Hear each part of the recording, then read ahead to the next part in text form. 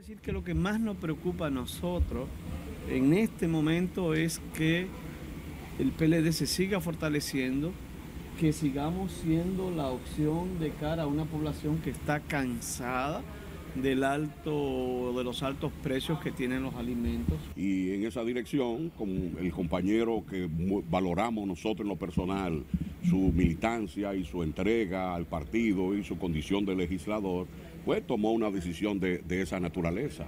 Eh, unos se van y otros llegan, realmente esa es la dinámica, no solo del PLD, sino de todos los partidos políticos.